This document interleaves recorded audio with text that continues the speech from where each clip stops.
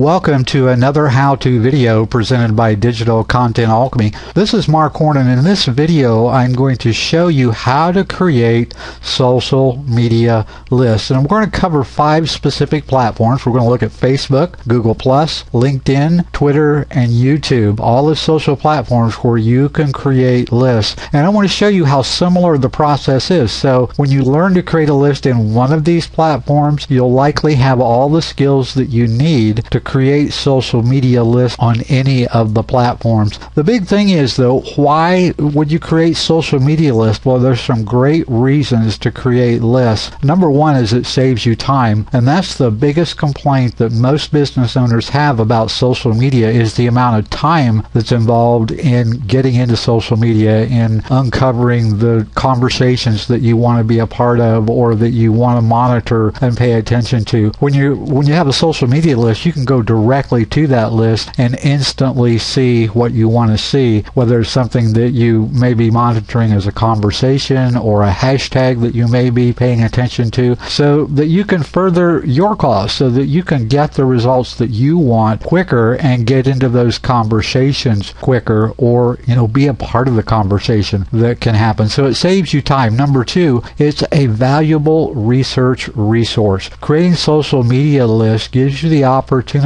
to monitor areas that you're researching. Like I mentioned before, you may be researching a hashtag and the conversation that's going on around a relevant hashtag. Or you may have influencers that you want to keep track of what certain people are saying in certain areas in social media. So it's a valuable research resource. And number three, it contributes to network growth because you can monitor the conversations and you can see where those relevant conversations are.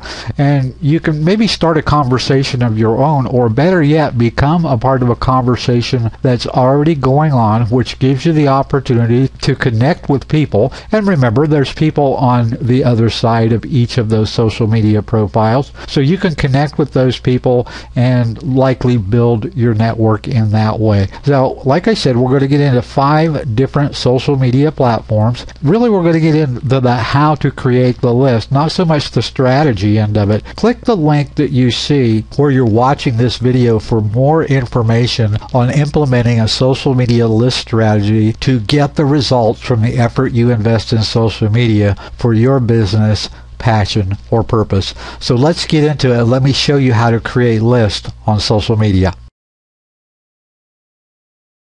So to start our list building how-to, let's start with Facebook, one of the most popular, if not the popular social media platform on the web. There are a couple of different ways that you can create lists that you can monitor in Facebook. And this is just the basic news feed. You can see this is my basic news feed. This is not anything to do with a page. This is the free account everyone has with Facebook when they log in. So what I'm seeing here, let's scroll down. I'll show you how we can create a feed or a list based on pages that we like. And if you go down here to pages and click on pages, you can see what's going to come up are different pages that you like and that's an entire list. You can see this one's quite extensive. You may not like as many pages as I do in my account but let's look at this very first one spiritual life productions. And let's do this. Let's hover over spiritual life productions and then what we want to do is we want to add spiritual life productions to an interest list. So let's create that and let's say hey you know what? Let's add it to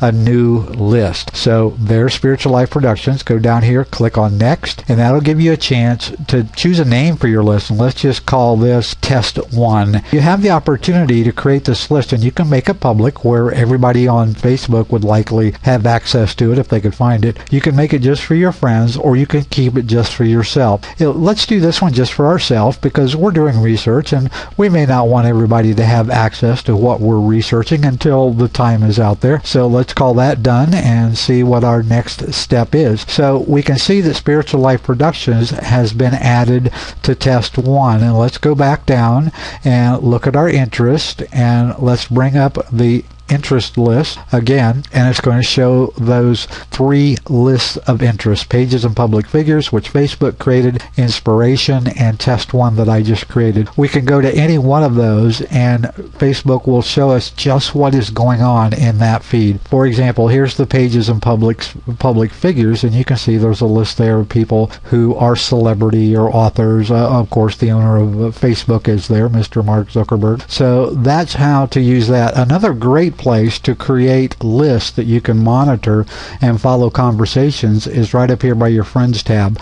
Go over here to more and that will show you the different lists that are currently associated with your friends in Facebook. Now some of these are created based on your profile by Facebook and then others like this one that I have here, these are my friends in Austin and then family and then people I graduated with. You can create a list from here to monitor something. So let's see what we can do. Let's name the list. Let's name the list test 2 and who would I like to add to the list? So I can add in here I can type in names of friends and let's put in uh, my buddy Chuck. See if uh, if he, if he comes up there's Chuck. We'll put Chuck in there. And let's also add some other Texas friends some people I know that I in the marketing side. Hey you know why not? So you can add people to this list that way and then create the list and the list is then created. So you can see what it automatically goes over to is that test 2 list which it shows as a custom list and the people that it's showing me in this feed are only those three people. So I'm seeing what they put up in that uh, it, lately on Facebook using that particular feed. So that's Facebook. Very similar mechanisms are going to follow along as we go through. So let's head over to Google Plus one of the newer social media platforms that you might want to use. And here again, this is my default page. When I log into Google Plus, this is what I see. Well, what I'm going to do to create a list is I'm going to go over here and I'm going to go to people, and that's going to bring up people that Google Plus suggests that I follow. But I'm going to go over here to your circles, and this is going to show me the circles that I have. And you can see these are the circles that I have. And if I want to create a circle, I simply click here, and by creating a circle, I'm creating a list. So let's give it a name, and let's call it test three and let's create the uh, well let's add some people to it first. Let's see who we want to add to this. Let's say uh, just some people off of the top. There's Alan. I'll, I'll add Alan to this list and then I can add other people to this list or I can wait and Google Plus will show me suggestions for what I who I might like to add to this list. So let's go ahead and add Mike into the list and Mike's on there and then let's add Tom B and of course no list is complete without Seth Godin. And let's create that list. And you're going to see the list is going to populate and it has been created right there test 3 now if I want to see what's going on in the stream of test 3 I put my cursor over test 3 I right click and it's going to let me have a view of that particular stream. And what the most recent posts are that those particular three people that I have or those four people I have in my stream have put out into Google Plus. So that's a way to create a list on Google Plus. Let's jump over to LinkedIn. LinkedIn LinkedIn for free account doesn't have a specific way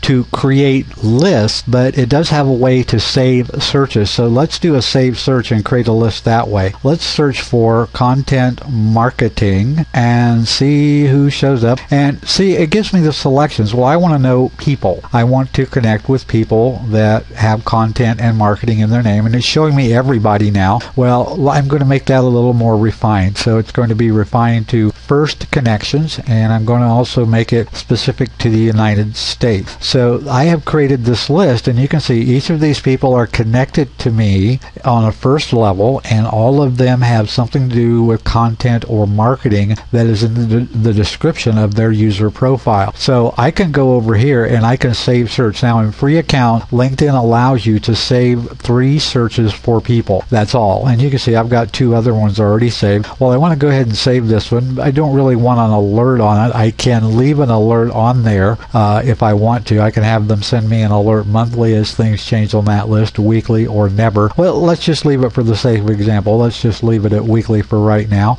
and it's going to create that list. I've just maxed out that list. But the thing is, I can use this to really do some wonderful things. I run the Content Alchemy podcast, and I can use this list to look for people that I might want to have on the podcast and interview about content alchemy, people who are creating content and kind of what they do behind the curtain. And you'll see there's some people on here that have already been guests on Content Alchemy. Uh, Martha Giffen has been a tremendous guest talking about social media content, one of her areas of expertise, and some other folks that are relevant to that conversation. Chuck Hester uh, has been on the podcast uh, contributing marketing uh, and content knowledge around LinkedIn. He's a LinkedIn expert. So that's just a way that you can leverage LinkedIn search to create a list. Let's go over to Twitter, and Twitter is actually the king of lists because more and more it's more popular to create a list in Twitter. And you can see this is my default Twitter page that when I log into Twitter, this is what I'm seeing. If you want to access list or create a new list, go over here, click on the cog right there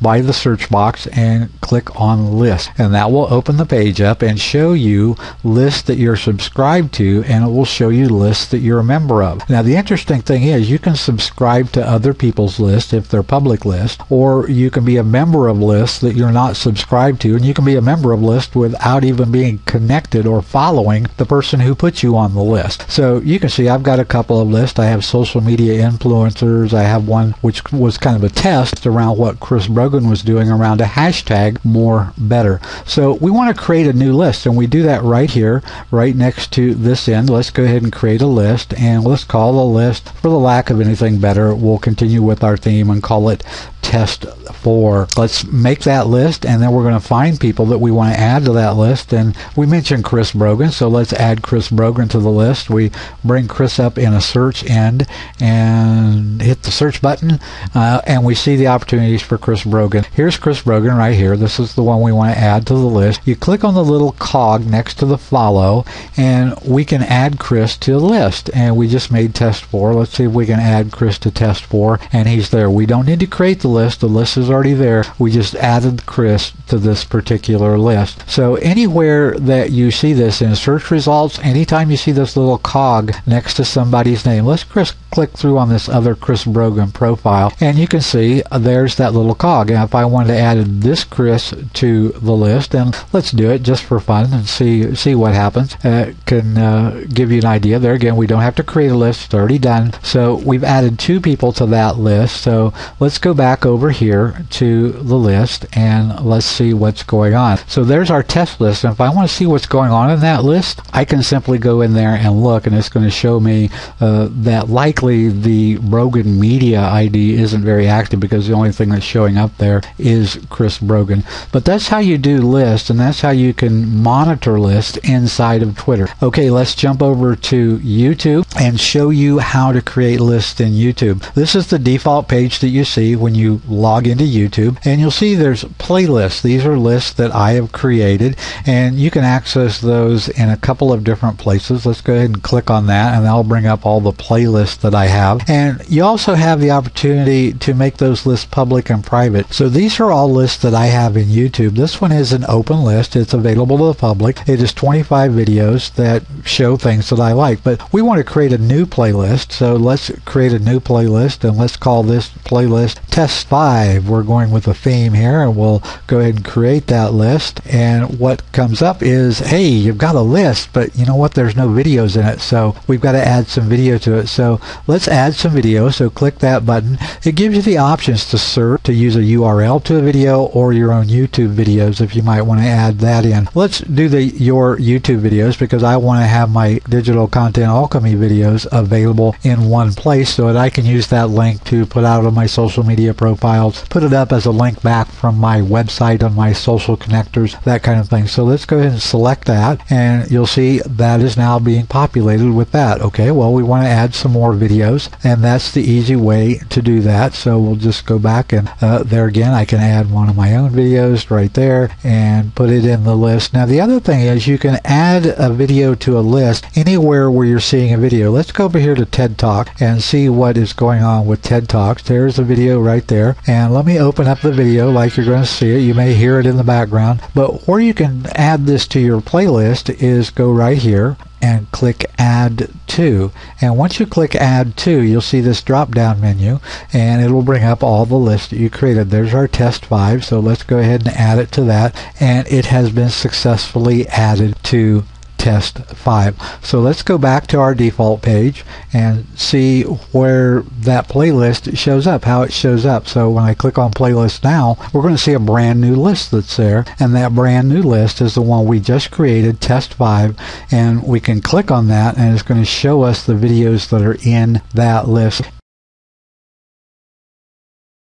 So there you have how to create social media list with this instructional digital content alchemy video. And why would you create those lists? Well, you save time, it's a research resource, and there's network growth. For more information on the strategy, use the link that you see close to the video to find more about the strategy on how to leverage the social lists that you're creating. Meanwhile, go create some lists. Go into your favorite social media networks, create some lists, have some fun, and I'll see you in the next video.